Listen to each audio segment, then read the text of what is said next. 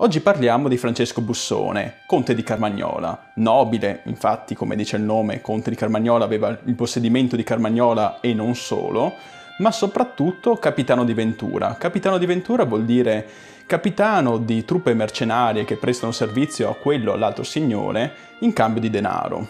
Partiamo con il nostro racconto con un conte di Carmagnola che segue Facino Cane. Alla morte di questo condottiero, il conte continua a seguire la sua vedova, ovvero Beatrice Tenda, che si risposa e si sposa con Filippo Maria Visconti, fratello minore di Giovanni Maria Visconti, che era duca di Milano. Con lui vince gli Aretini, Senesi, i Lucchesi e rimette al suo posto il duca di Urbino.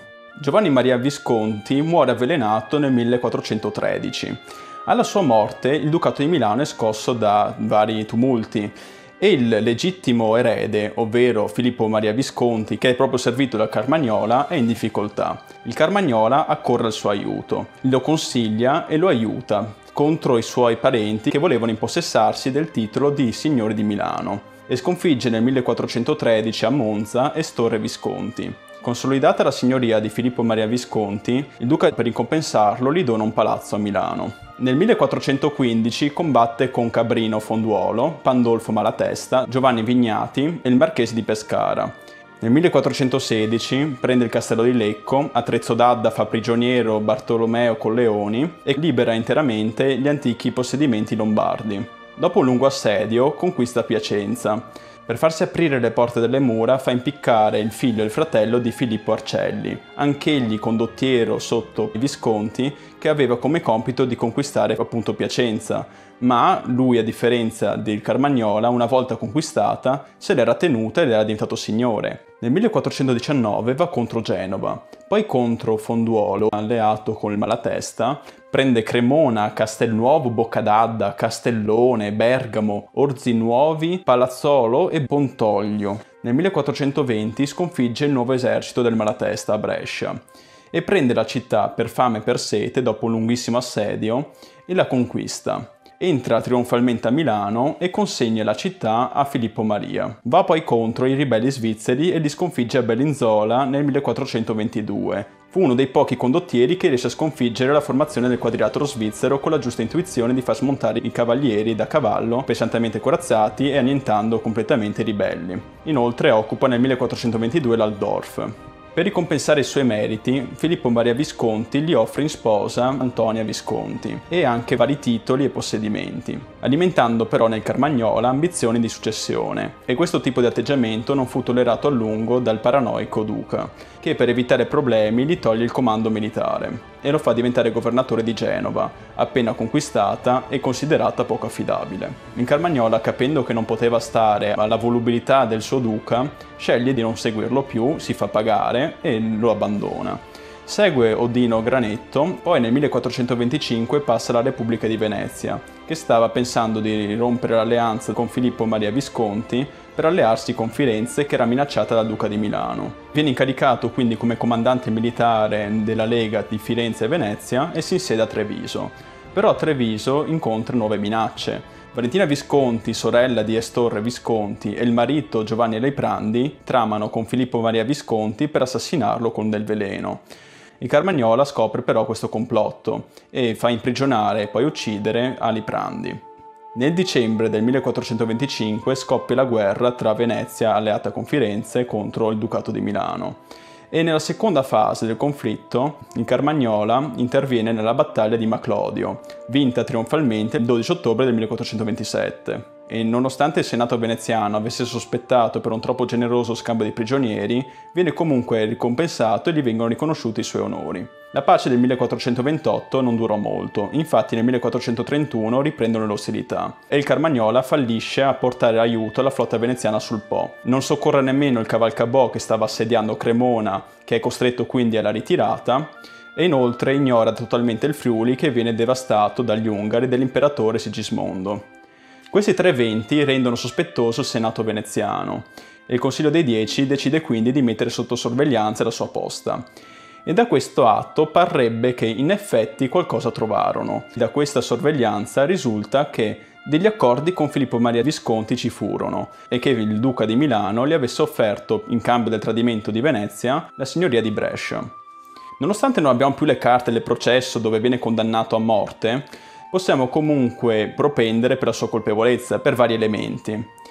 Il primo di questi è il suo atteggiamento nel momento dell'arresto, che si dimostrava parecchio sospetto, come se non avesse la coscienza pienamente a posto. Come seconda cosa, le prove dovevano essere parecchio schiaccianti per avere una maggioranza così al Senato per la condanna a morte. E come terzo elemento, e questo lo direi quasi il più importante, la reazione dello stesso Filippo Maria, quando viene condannato a morte Carmagnola, fa interrogare e torturare un patrizio veneziano suo prigioniero per sapere appunto cosa sapesse la Repubblica di Venezia dei suoi coinvolgimenti con appunto il Carmagnola. Qualcosa da nascondere ce l'avevano. Dopo essere stato torturato ed aver ammesso la sua colpevolezza, che questo qua non è una prova perché qualunque persona sotto tortura direbbe qualsiasi cosa, viene decapitato in piazza San Marco tra le due colonne come di consueto davanti alla moglie e ai figli. Nonostante questa condanna a morte, comunque gli furono dati dei funerali di tutto rispetto e fu seppellito privatamente nella Basilica dei Frari a Venezia. Inoltre la moglie, ormai vedova, poté avere dalla Repubblica di Venezia il consenso per poter trasportare il corpo da Venezia a Milano, dove fu seppellito nella cappella di famiglia di lei, nella chiesa di San Francesco, che però oggi non è più visitabile perché è stata distrutta nel 1798.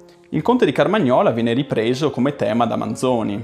Manzoni ovviamente ci tesse una storia abbastanza diversa, ovviamente non aveva certe informazioni che abbiamo oggi e inoltre nonostante lui volesse raccontare la storia, lui era più interessato a raccontare una certa morale del tutto e voler sottolineare come il popolo italiano diviso tra lotte fratricide non aveva invece l'unità che lui invece sognava. Erano come sempre, come anche i Promessi Sposi, una rivisitazione del tema risorgimentale che lui non poteva scrivere ai suoi contemporanei della contemporaneità, ma trasponeva le, le sue tematiche attuali in un'epoca passata per cercare di ispirare uno spirito di fratellanza tra i lettori italiani. E proprio del conte di Carmagnola, però quello di Manzoni, romanzato, abbiamo il suo ritratto di Hayez.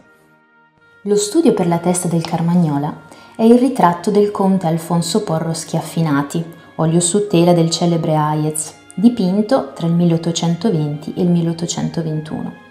Sul retro la scritta a penna Conte Porro Schiaffinati San Albino Hayez non lascia il minimo dubbio.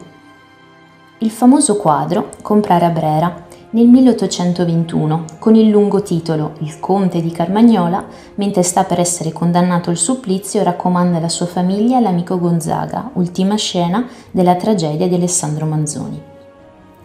L'aitante conte, preso a modello per la figura del Carmagnola, concederà successivamente nuovamente la sua immagine nel 1827, utilizzata nella Maria Stuarda condotta al patibolo ed è qui che probabilmente Hayez diede per riconoscenza questa straordinaria opera ancora non terminata. Per questo motivo il quadro trovato presso la villa Poroschi Affinati di San Albino, presso Monza, passerà per via ereditaria ai discendenti del giovane aristocratico.